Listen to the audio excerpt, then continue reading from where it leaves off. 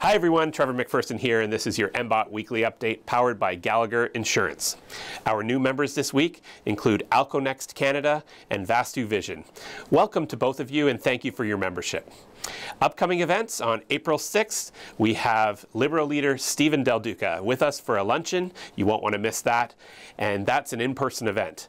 Another in-person event on April 14th with Minister Lisa MacLeod, the Minister of Heritage, Sport, Tourism and Culture Industries.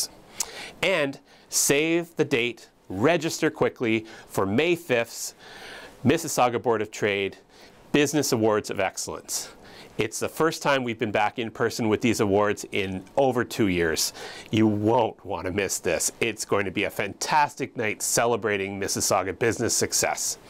For news you can use this week, Ontario has finally reached an agreement with the federal government on $10 a day childcare in Ontario.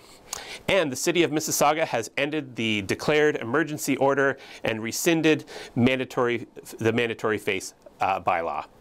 Details on these stories in our newsletter on our website. I'm Trevor McPherson. See you next week.